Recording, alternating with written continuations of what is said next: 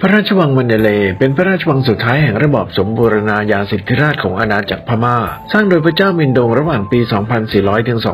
2403 หลังจากการย้ายเมืองหลวงจากอมรปุระมายังมันเดเล เพื่อหนีกองกำลังของจักรวรรดิอังกฤษ ระหว่างสงครามพม่าอังกฤษตามความเชื่อ หลังจากการเสียเมืองให้อังกฤษ 60 ปี พระราชวังมันเดเลก็ได้ถูกระเบิดทำลายลงจากชาวอังกฤษเพราะคิดว่าพระราชวังแห่งนี้เป็นที่ตั้งของกองทัพญี่ปุ่น ในสมัยสงครามโลกครั้งที่สองทำให้พระราชวังแห่งนี้ซึ่งมีอายุถึง 88 ปีถูกทำลายลง จากนั้นอีก 50 ปี ปี